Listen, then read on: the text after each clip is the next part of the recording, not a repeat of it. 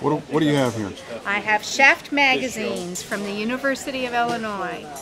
And what's unique about the Shaft magazines? These magazines started from the late 40s to 1953, and that's when they were sold in Champaign, Urbana, and by a young entrepreneur, Hugh Hefner.